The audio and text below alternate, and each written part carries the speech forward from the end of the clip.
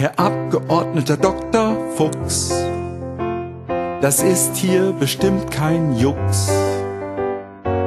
Wir sagen, es hilft nur auf Dauer. Friendly, gently, renewable power.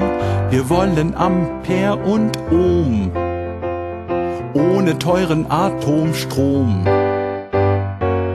Das geht und das wissen Sie schon. Oder fragen Sie Ihre Tochter oder Ihren Sohn. Wir machen hier nur unseren Job und sagen einfach ganz salopp, hopp, hopp, hopp. Atomkraft, stopp!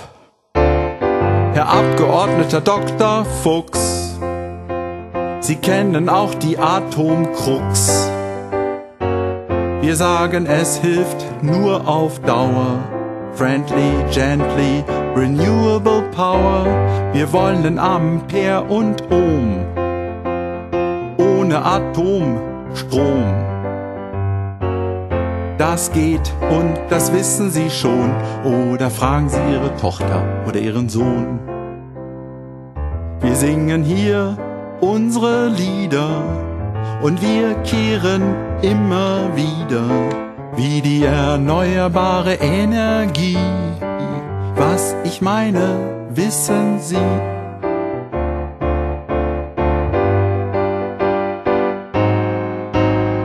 Herr Abgeordneter Dr. Fuchs, Sie sind ein Lieder und ein Dux.